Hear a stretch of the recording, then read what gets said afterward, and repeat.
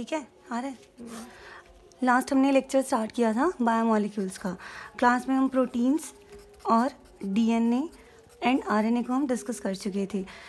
I have already told you about the biomolecules कि ये दो कैटेगरीज में डिवाइडेड होते हैं मैक्रो और माइक्रो।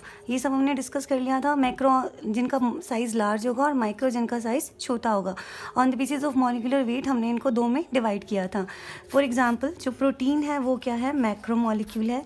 लेकिन जिसका ये बना हुआ होता है amino acids they are the micro molecules these are micro molecules and they are macro molecule in the similar way हमने न्यूक्लिक एसिड्स को डिस्कस किया था। न्यूक्लिक एसिड जो है that is the macro molecule लेकिन ये न्यूक्लियोटाइड्स का बना होता है। दिस इज़ माइक्रो मॉलिक्यूल अभी हम नेक्स्ट टॉपिक को डिस्कस करेंगे, वो क्या है?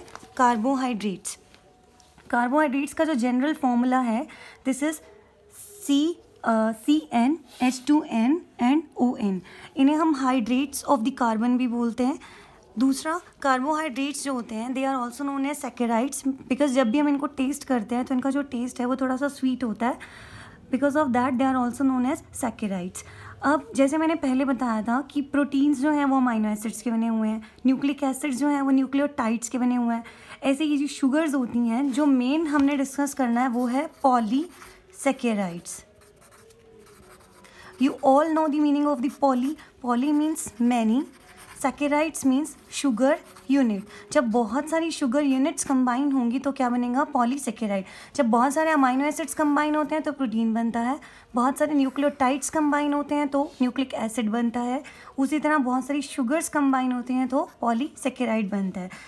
जब एक शुगर यूनिट होगी तो हम उसको बोलेंगे मोनोसेकेराइड दो शुगर यूनिट्स होंगी तो डाई तीन होंगी तो ट्राई यूनिट्स ट्राई, सेकेराइड, अगर थ्री टू सेवन यूनिट्स होंगी तो हम उसको ओलिगो का नाम देते हैं। ओलिगो का हिंदी में मतलब है कुछ। और पॉलीसेकेराइड जब अप टू थाउज़ेंड मॉलिक्यूल्स मतलब अगर एक हज़ार तक की शुगर यूनिट्स कंबाइन हो जाती हैं तो ऐसे लार्ज साइज़ की सेकेराइड को हम नाम देते हैं पॉलीसेकेराइड्स का। डेली बेसिस पे जब हम शुगर्स के नाम जानते हैं, वो है glucose fructose lactose starch cellulose अब हम इनकी, इनमें जो मेन शुगर्स हैं, उसको हम डिटेल में डिस्कस करेंगे।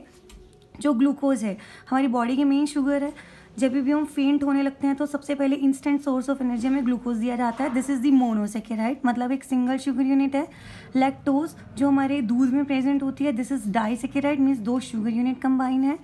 स्टार्च जो हमारे प्लांट्स में होती है सेल्यूलोज प्लांट्स में मिलती है काइटीन सेल वॉल के अंदर होती है दिस इज़ दी पॉलीसेकेराइड एक शुगर है रेफिनोज जो शुगर बीट के अंदर बीट रूट जिसको हम हिंदी में चुकुंदर कहते हैं, उसके अंदर मिलती है this comes under the category of oligo saccharide this was all about the general introduction about the carbohydrates कि शुगर यूनिट्स के नंबर के बेसिस पे हमने इनको नाम दिया है, एक यूनिट मोनो दो यूनिट डाई तीन यूनिट ट्राई कुछ ओलिगोसेकेराइड और बहुत सारी यूनिट्स हैं तो वो पॉलीसेकेराइड ये उनके कुछ एग्जाम्पल्स हैं।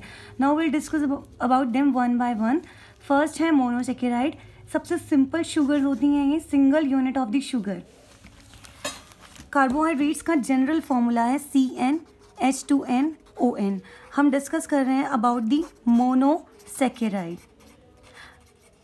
keep in mind कि यहाँ पे शुगर यूनिट एक ही रहेगी कार्बन नंबर वेरी करेगा।